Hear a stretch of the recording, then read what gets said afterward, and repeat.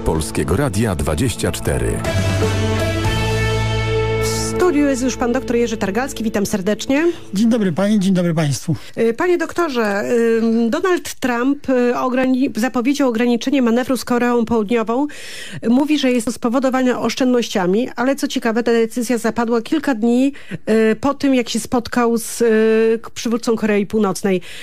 Czy Donald Trump w tej chwili robi wielką ofensywę, jeżeli chodzi o Koreę i Chiny, czy nie? Nie. Po pierwsze, to te ćwiczenia zostały już wstrzymane dawno, e, przed e, po, po, tym spotkaniem, po pierwszym spotkaniu, e, a teraz to jest tylko jakby potwierdzenie, że ćwiczeń nie będzie, no bo trzeba znaleźć jakieś wytłumaczenie, czyli że one są zbyt kosztowne. Tak, właśnie jest mowa o pieniądzach.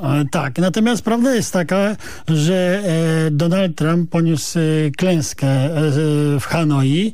Jego polityka okazała się absolutnie chybioną, ponieważ on sobie wyobraża, e, że e, jak pochwali Kima i e, zaproponuje zniesienie sankcji, no to Kim dokona denuklearyzacji. Oczywiście żadnej denuklearyzacji nie będzie, dlatego że Kim nie wyzbędzie się broni atomowej, no chyba, żeby Donald Trump zaoferował mu władanie obu Koreami. Poza tym za Kimem stoją Chiny. Chiny nie mogą dopuścić do tego, żeby stracić jeden z najważniejszych argumentów w rozgrywce rozgrywce z Ameryką. Czyli e, w Hanoi e, Kim zaproponował, że e, za wyłączenie reaktora grafitowego w Pyongyang i za zamknięcie takiej sali z wirówkami gazowymi, gdzie jest wzbogacany uran, żeby Donald Trump zniósł sankcje.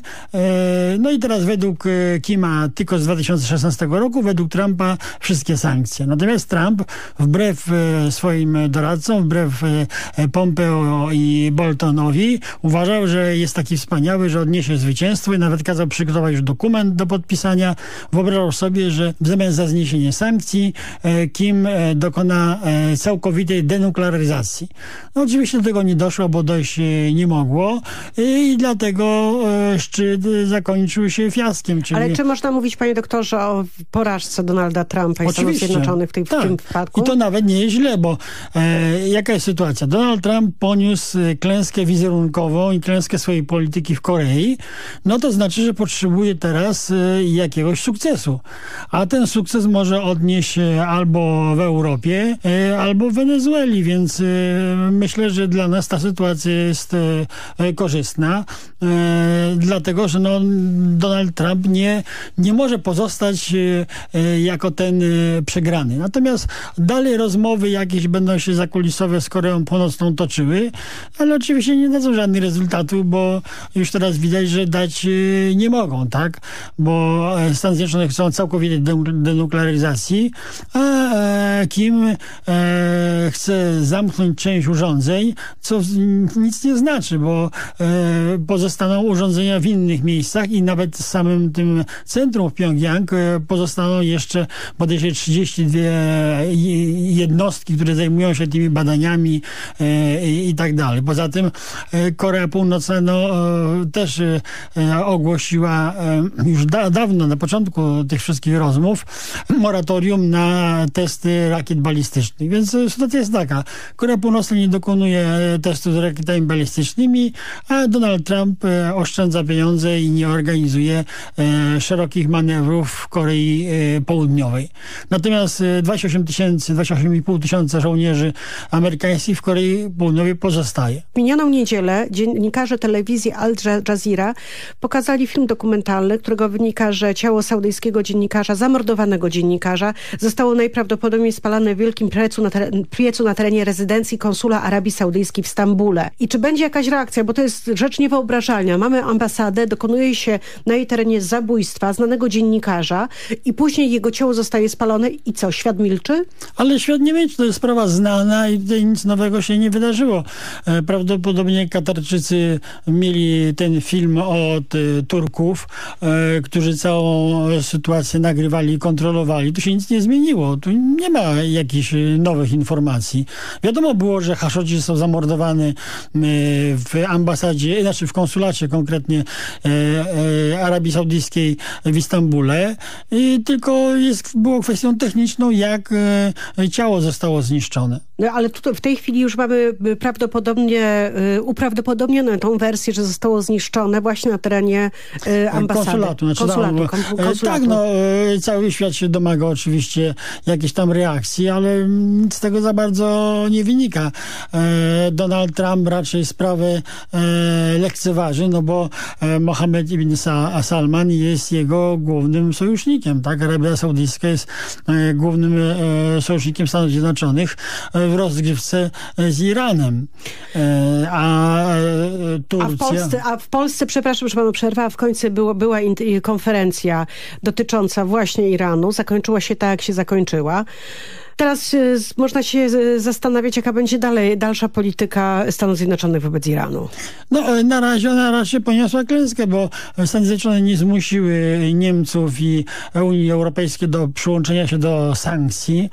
Z drugiej strony sprawa uruchomienia systemu e, obrotu, znaczy dokonywania przelewów do Iranu poza SWIFT-em, który kontrolują Amerykanie, nie ruszyła jakoś e, z miejsca, więc sytuacja pozostaje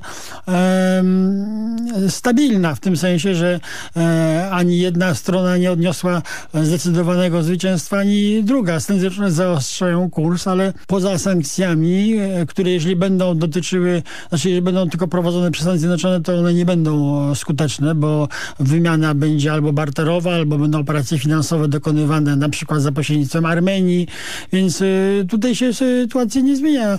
E, jest ostry konflikt i nie widać jego rozwiązania. E, jeżeli chodzi o rozmowy Netanyahu w Moskwie, to one się odbyły, no i ostatecznie, e, jak podały źródła rosyjskie, powołano, e, czy też ma być powołana robocza grupa izraelsko-rosyjska do spraw wycofania mm, oddziałów irańskich z Syrii, ale też ta sprawa nie rusza, dlatego że no, bez oddziałów irańskich, armia jest za słaba, tak? Więc w jego interesie jest pozostanie oddziałów irańskich. E, tutaj widzimy, że e, e, Moskwa nie jest w stanie wywrzeć takiego nacisku na Iran, żeby zadowolić Izrael, więc raczej ostatecznie to się tak skończy, że obie strony będą do niej miały pretensje, zarówno Iran, jak i Izrael. Panie doktorze, w ubiegłym tygodniu premier Izraela był w Moskwie, spotkał się z Władimirem Putinem. No właśnie o tym media, media ja wiem, ale media odnotowały, że było to aż 11 spotkanie. Nie, to było 16 spotkanie. O proszę bardzo, czyli e, dziennikarze to, się 16, 16 wizyta Netanyahu w Moskwie. W Moskwie, ale spotkanie z Putinem 11. I y, czy rzeczywiście y, Benjamin Netanyahu szuka poparcia wobec y, zarzutów, które mu grożą? Chce mieć, chce mieć wsparcie Rosji przy, w przeciwko swoim przeciwnikom politycznym, czy jest to element polityki tylko i wyłącznie międzynarodowej? Nie, nie, jest to element polityki e, bezpieczeństwa. No, jeżeli, e, jeśli Netanyahu potrafiłby pokazać, że jest skuteczny w walce o bezpieczeństwo Izraela, no to miałby większe poparcie, ale w tej chwili ma duże poparcie. Likud może liczyć na minimum 30 mandatów na 120 w Knesecie. E, trzeba pamiętać, że e, e, Żydzi są tak skłóceni, że Polacy tak nigdy nie byli skłóceni. W związku związku z czym liczba partii, które są w Knesecie e, jest bardzo duża, koalicje są e, niezwykle liczne. Ale będzie jakaś większość, która rzeczywiście może samodzielnie rządzić teraz według nie, tej... E, Likud nie będzie miał większości, bo tam żadna partia nie może mieć większości. Chodzi tylko o to, czy oprócz e, e Likudu dostaną się jakieś małe ugrupowania prawicowe, z którymi Likud zawrze koalicję. Też spekulowano, że e, centroprawica się rozbije i z nową partią odporności Gansa Likud zawsze koalicję, ale Gans powiedział, że w żadnym wypadku w koalicję z Netanyahu nie wejdzie. No w związku z czym mamy sytuację dwóch koalicji. Koalicji centroprawicowej, czyli Gans i Jair Lapid jest przyszłość i Likud ze swoimi sojusznikami potencjalnymi. Jak mówię, no na razie, jeżeli chodzi o wybory, to Netanyahu nic nie zagraża w sensie popularności. Natomiast prokurator generalny Mendelblit znaczy no, zapowiedział postawienie Netanyahu stan oskarżenia to wiemy, za korupcję. Panie, to wiemy. Panie doktorze, ponieważ czas nas mija, a chciałam zadać jeszcze jedno pytanie, krótka odpowiedź. Chodzi mi o zapowiedź papieża Franciszka o odtajnienie akt Watykanu z czasów II wojny światowej, czego domagali się między innymi społeczność żydowska, czego się domagała. Czy to może wstrząsnąć te archiwa, czy nie? Czy wiemy już właściwie, co w nich jest?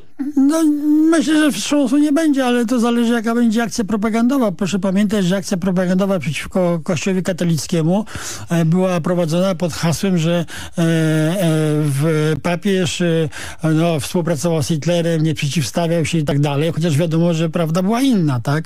Czyli odtajnienie tych akt położy kres bolszewickim kłamstwom. Natomiast prawda ma małe znaczenie w polityce, więc ważne jest, kto iloma mediami, jakimi mediami dysponuje. I o tym też będziemy rozmawiać, proszę Państwa, już Państwu to obiecuję, po odtajnieniu akt Watykanu. Na pewno Pan doktor będzie się na ten temat w naszym programie wypowiadał. Bardzo dziękuję za wizytę w studio. Państwa i moim gościem był dr Jerzy Targalski, a ja Państwa zapraszam, żebyście zostali z Polskim Radiem 24.